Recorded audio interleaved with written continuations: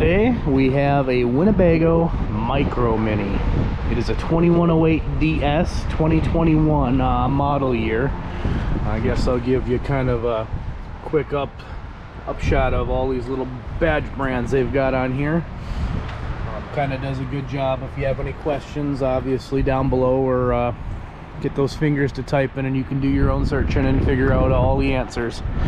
Uh, biggest thing though I will point out is the Azdel. Um, that is totally cool, definitely worth it. If you don't know what it is, you're looking for a fiberglass uh, camper, do yourself a favor and Google that. Moving on to the inside, this is a Murphy bed camper. Uh, no bunk bed, so we call it a couples coach. Um, however, when the weather does turn, you do have uh, a couch set in here. And then uh, a raised booth dinette, which actually uh, works pretty good because this is about bum height, so you can slide right in. You never even notice it. You don't have to have as big of a slide out. And you don't knock your head like you think might actually happen. Oh, this is why it's so dark in here. I missed a few lights. My bad. So television is set over here. Uh, there is a wireless phone charging area here. Um, as always, we did just get this one dropped off. There is sawdust in it. Hasn't been cleaned digital thermostat, big huge stereo. I really like these modern uh, motorhome like opening grips, so not sure why, I just enjoy. Sink in the bathroom, medicine cabinet, storage of course, big, huge, deep. There's me.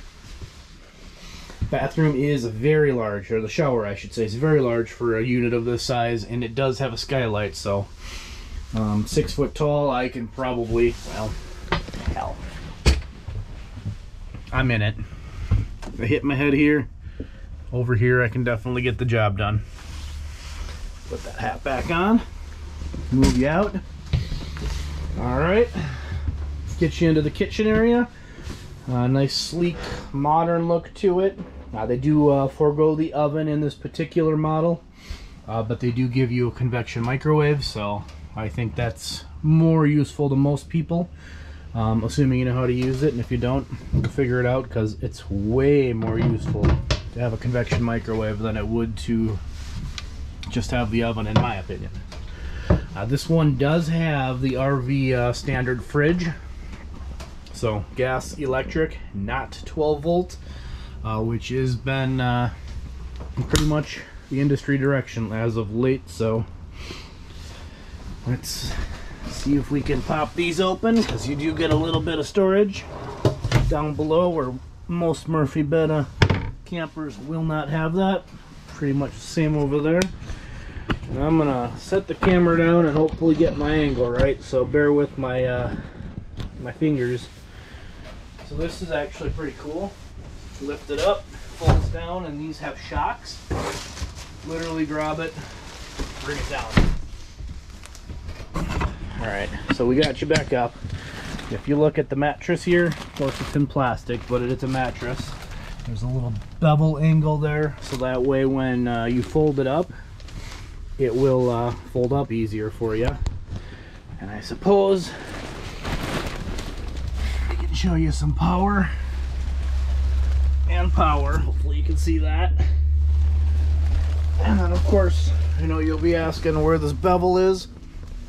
It is right here through my belly when my head is this far. Otherwise, if I move up closer to the top, my butt's on it.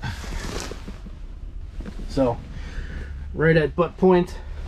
Not sure if that's good or bad for uh, you guys at home, but that is where that spacing tends to be. I suppose if it was me, I would likely uh, just throw some, throw down some egg cart curtains or just get a two inch mattress or something to put on top because probably won't feel it at all.